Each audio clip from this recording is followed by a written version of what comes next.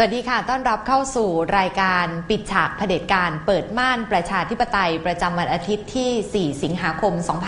2556 กับหญิงอรุโนไทยศิริบุตรค่ะ แน่นอนนะคะว่าความเคลื่อนไหววันนี้คงจะหนีไม่พ้นการจับตามอบการชุมนุมของกลุ่มกองทัพประชาชนโค่นล้มระบอบทักษิณที่ได้มีการชุมนุมกันอยู่ที่สวนลุมพินีณขณะนี้นะคะ และจำนวนของประชาชนก็เป็นที่จับตาเหมือนกันค่ะว่าจะเป็นสิ่งที่บ่งบอกทิศทางทางการเมือง รวมไปถึงอายุของรัฐบาล นอกจากนี้เรายังจะคงพูดถึงเรื่องของการเดินหน้า พรบนิรโทษกรรม ฉบับของคุณวรชัยเหมะนะคะ ที่เมื่อวานนี้เองแกนนำนปชออกมาพูดเสียงดังอีกครั้งหนึ่ง โดยยืนยันว่าจะไม่มีการถอนพรบนิรโทษกรรม ฉบับนี้ออกไป ตามคำขอหรือคำแนะนำของหลายฝ่ายนะคะ ทั้งหมดวันนี้เราจะพูดคุยกับพี่หมูพรศักดิ์ศรีละมุนค่ะ สวัสดีค่ะพี่หมูคะสวัสดีครับน้องหญิงครับ ค่ะ สวัสดีครับท่านที่เคารพครับ วันนี้เพื่อให้พี่หมูรู้สึกอารมณ์ดี แล้วก็มีอารมณ์สุนทรีในการจัดรายการตลอดหนึ่งชั่วโมง มีภาพให้พี่หมูได้ดูกัน นะฮะนะจะได้มีรอยยิ้มอะขอภาพดูหน่อยค่ะ เป็นเป็นภาพที่ในโซเชียลมีเดียหรือว่าในอินเทอร์เน็ตนี่ดังมากพี่หมู อันนี้คือก่อนหน้านี้ อันนี้อยู่ที่จังหวัดระยองนะคะ อ่าวพร้าวที่เกาะเกร็ด เอ่อเกาะเสม็ดไม่ใช่เกาะเกร็ดเกาะเกร็ดที่นนทบุรี คือมีคนตัดหน้านายก เออ ลงพื้นที่เยี่ยมอืมกรณีท่อน้ำมันรั่วกะว่าจะสร้างกระแสแล้วก็ดึงความชอบให้กับตัวเอง อ๋อแต่เป็นยังไงคะพอหลังจากลงเรือเฟอร์รี่ อ่า พี่หมูเห็นสภาพโอ้นั่นนั่นนั่นนั่นอะไรนะเกิดเป็นหญิงแท้จริงแสนลำบากค่ะ อ๋อนี่หมายหมายถึงโอ้ อ๋อ นั่นนะพิสิทธิ์อะแล้วก็อัศวินผันเมืองค่ะเอ่อผู้หญิงทั้งนั้นเออแล้วนั่นนั่นมันนั่งยืนบนรถอะฮะ ยืนบนเหมือนเป็นอ๋อรรถถเพื่อรถไม่รให้ถเปียกน้ำอะค่ะ อ๋อ รถเข็นศพค่ะอืมไม่ใช่พี่หมูคือให้ท่านอดีตผู้นำขาไม่ต้องเปียกน้ำไม่ต้องเปื้อนเพราะเล่นเดี๋ยวไปเยี่ยมทำไมขึ้นรถขึ้นเหมือนรถเข็นศพนั่นน่ะรถเข็นศพนั่นเวียนรอบเมนเนาะ เพื่อให้ครบชุดก็น่าจะมีรูปภาพอภิสิทธิ์ซะหน่อยเนาะค่ะ แล้วก็กระถางทูบนำจะสมบูรณ์เลยแหละนี่จริงๆนะดูนะดูผมค่ะผมเพิ่งเห็นก็ก็เห็นมีคนเข็นกันโอ้ทุลักทุเลจะเนาะ ค่ะ เออแต่ก็เพื่อที่จะให้คุณอภิสิทธิ์ได้สบาย หน้าหน้ารถน่าจะมีพวงหลีดซะหน่อยอ่ะอันนี้เป็นภาพหนึ่ง อ๋อซึ่งหลายคนตั้งข้อสังเกตว่าอืมเอ๊ะ ถ้าย้อนกลับไปเมื่อปี 54 ที่น้ำท่วมเออที่นายพิสิทธิ์ลงพื้นที่พี่หมูมีมีภาพคล้ายๆ กันอยู่เออบนเรือ ระดับน้ำเนี่ยค่ะ สูงประมาณโอ้หน้าแข้งหน้าเท่าแข้ง นั้นเองแต่ว่านายพิสิทธิ์นั่งบนเรือไอ้บ้าเอาพออย่าไปดูมันเลยบางคนบอกว่า เอ๊ะหรือว่าคุณอภิสิทธิ์กลัวน้ำ มันเป็นโรคสุนพิษสุนัขบ้า พวกบ้า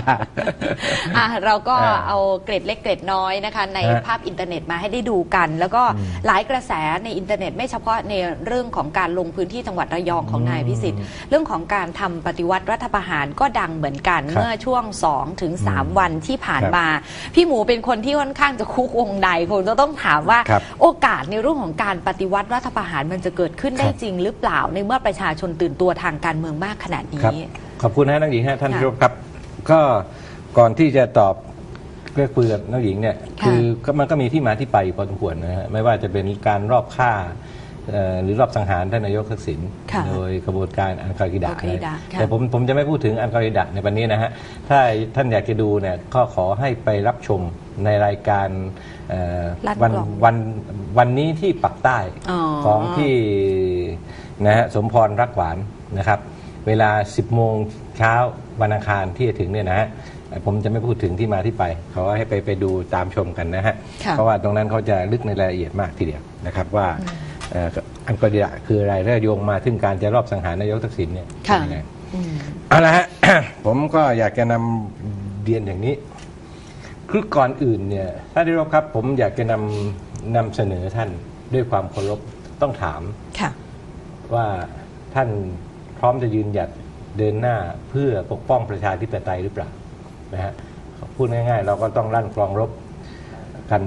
ตั้งแต่นาทีนี้ไปนะครับในวันนี้วันที่ 4 ก็เห็นว่าตั้งแต่เช้าก็เริ่มมาที่สวนลุมพินีค่ะนะครับ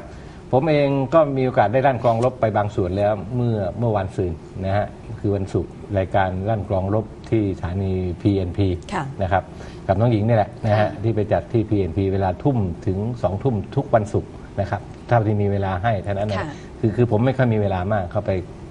ก็เกรงใจที่จะไปให้ให้ความเห็นกับพี่น้องประชาชนเขาได้ก็ทุกวันศุกร์เวลาทุ่มถึงสองทุ่มที่ PNP แล้วก็เสาร์อาทิตย์กันมาที่นี่ ค่ะ เมื่อวานก็อืมก็เป็นวาระใหญ่ที่ประชุมแกนนำทั่วประเทศ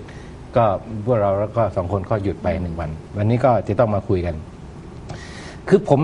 ผมคิดอย่างนี้ฮะเรื่องการปฏิวัติหรือไม่เนี่ย มันเป็นปัจจัยเป็นเหตุสุดท้าย อืม แต่อยากจะให้พี่น้องและก็น้องหญิง ฟังจากตรงนี้ไปก่อนว่า เหตุที่มันเกิดในบ้านในเมืองในชั่วโมงเนี้ยทุกคนเริ่มเสียจริตค่ะยังทุไงกคนเริ่มเสียจริต ผมเห็นแล้วตกใจให้น้องหญิง ตกใจจริง ๆ คือเห็นตุเทพเทือกสุบรรณผมก็ยังธรรมดาธรรมดาเพราะตุเทพเทือกสุบรรณก็เป็นคนขักขระอยู่แล้วนะฮะเป็นคนที่ซึ่งซึ่งเขาเรียกว่าเดนสังคมอะนะฮะคือเป็นพวกพวกสวะที่พูดคำหยาบคำคายก็ไม่ไม่น่าสะอิสะเอียนปากเท่าไหร่นัก แต่พอได้ยินแล้วก็เสียงจากคลิปที่เวทีผ่าความจริงของพรรคประชาธิปัตย์อดีตนายกรัฐมนตรี หัวหน้าพรรคประชาธิปัตย์วุฒิภาวะไม่น่าจะเกิดขึ้นกับคนที่เคยเป็นผู้นำประเทศ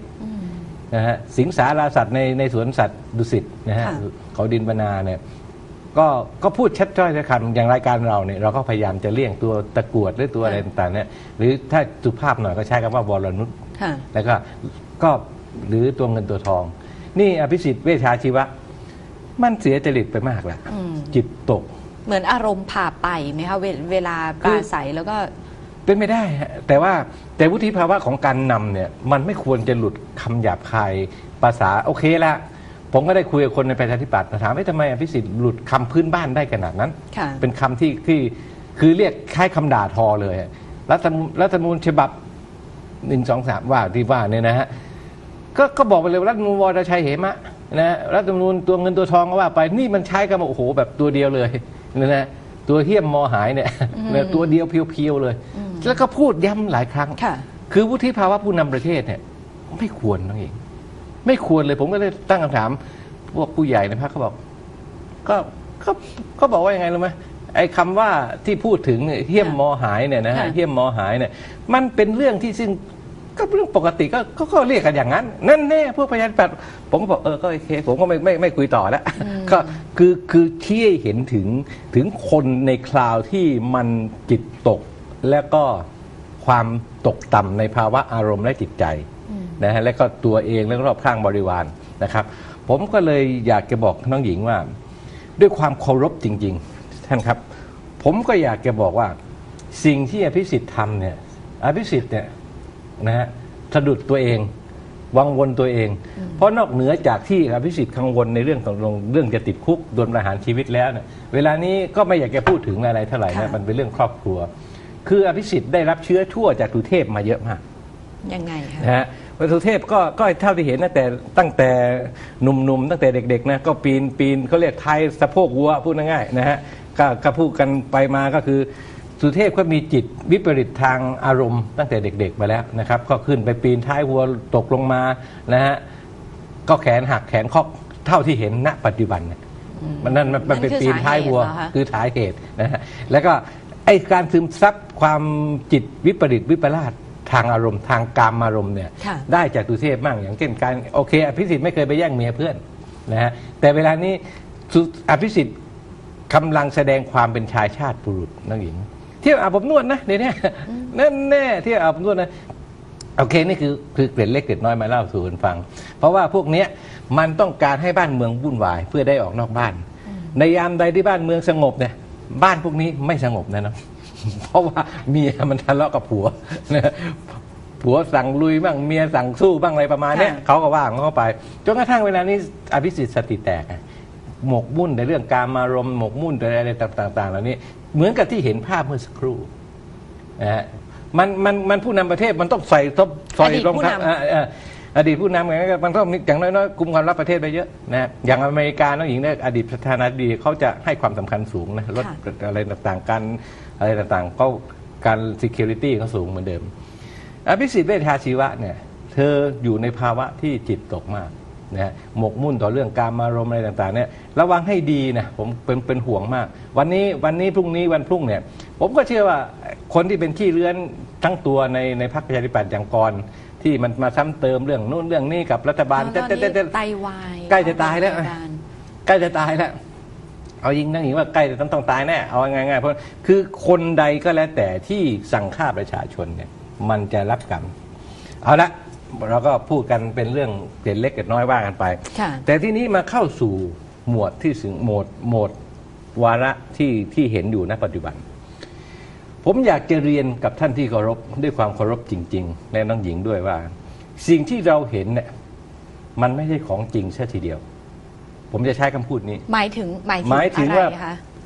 กิจกรรมในบ้านในเมืองที่มันมีความแตกแยกกันอยู่ณชั่วโมงตรงเนี้ย อืมมันไม่ใช่ของจริงแท้ทั้งหมด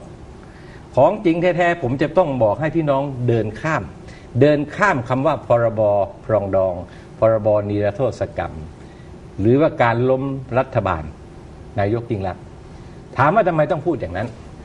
เพราะว่าตักกะมันก็คือว่าอันนี้คือมันคือเงื่อนไขหรือปัจจัยหนึ่งที่มันหาเหตุว่าหนังเรื่องพรบปรองดองหรือนิรโทษกรรมเนี่ยต้องการทำเพื่อทักษิณมันจะเอาคนที่ซื้อทักษิณมาเป็นอิชชูในการเคลื่อนไหว การล้มรัฐบาลก็เป็นอิชชูหนึ่งในการที่จะหาเหตุในการเคลื่อนไหว แต่แท้จริงแล้วไม่ใช่พี่น้องต้องดูให้ดีท่านที่รพครับ ฟังผมแล้วก็โปรดใช้วิธีการสังเคราะห์หน่อยว่า สิ่งที่มันเกิดขึ้นเนี่ยเกมครั้งนี้มันไม่ได้เรื่องของการที่จะล้มรัฐบาล เพราะรัฐบาลเนี่ยยังไงก็แล้วแต่ปุ๊บปั๊บปุ๊บปั๊บถ้าล้มหรือยุบสภาก็เลือกตั้งใหม่ตั้งรัฐบาลใหม่ก็ได้ แต่สิ่งที่สำคัญไปกว่าตรงนั้นก็คือ มันมีผู้ที่อยู่หลังม่าน หลังม่านและก็หลังบ้าน ที่ชักใยโยงใยอยู่ เพื่อก้าวไปสู่การเปลี่ยนแปลงประเทศ เดิมพันครั้งนี้เนี่ยมันไม่ใช่เดิมพันที่รัฐบาล มันไม่ใช่เดิมพันที่ประชาชน แต่มันเดิมพันโดยสถาบัน เดิมพันโดยเอาประเทศเป็นตัวตั้งค่ะเพื่อให้บุคคลคนหนึ่งที่อยู่หลังม่านออกมาเป็นผู้ที่ใหญ่มีอำนาจเต็มสูงสุด วันหนึ่งเมื่อวันที่หนึ่ง พระบาทสมเด็จพระเจ้าอยู่หัวและสมเด็จพระนางเจ้าท่านเสด็จแปลพระราชฐาน ไปที่ประทับอยู่ที่หัวหินพระราชวังไกลกัง นะฮะหลายคนออกมาร้องแร่แผ่กระเชอว่าเสื้อแดงไม่จงรักภักดีนะฮะแม้กระทั่งลูกพี่ผมชื่อสนธิลิมทองกุล ค่ะ ก็มากันแนะกันแหนว่าโทรทัศน์เสื้อแดง วิทยุคุมชนเสื้อแดงนะฮะก็ออกมา ก็เรียกหมิ่นเบื้องสูงอยู่เนืองเนืองๆ นะฮะอยู่เนืองเนืองๆและก็ต่อเนื่อง ลักษณะอย่างนั้นเชี้ให้เห็นว่าในยามที่พระบาทสมเด็จพระเจ้าอยู่หัว และสมเด็จพระนางเจ้า ท่านมีสุขภาพพลานามัยที่แข็งแรงขึ้น ก็ท่านก็เสด็จไปพักพูดง่ายคือไปพักพักฟื้นน่ะค่ะตามภาษาชาวบ้านคือไปพักฟื้นค่ะหลายคนก็บอกว่าเออเนี่ยเห็นไหมสิ่งที่น่ากลัวที่ผมบอกให้พี่น้องพึงพึงสังวรและพึงระวังก็คือว่าเขากล่าวหาพี่น้องเสื้อแดงว่าเราไม่มีความจงรักภักดีว่า เวลานี้เวลานี้ ขุนทัพนายกองหนีจากโรงพยาบาลศิริราชไปแล้ว เพราะเหตุผลว่ามีคนจ้องที่จะยิงโรงพยาบาลศิริราชอืมนี่ขอปลุกระดมกันเป็นวงกว้างค่ะคล้ายๆรูปแบบของการเอ่อล้างสมองประชาชนฝ่ายเสื้อเหลือง เพื่อให้จงเกลียดจงชังคนเสื้อแดง และก็รัฐะที่มีนายกยิ่งลักษณ์เป็นผู้เอ่อผู้นำประเทศ เป็นนายกรัฐมนตรี คือรัฐบาลชุดนี้ แล้วก็พยายามโยงว่าคนที่อยู่อยู่วงใยสูงสุดของเสื้อแดง และก็รัฐบาลชุดนี้คือคนที่ชื่อทักษิณชินวัตรมันพยายามบ่อนรอบ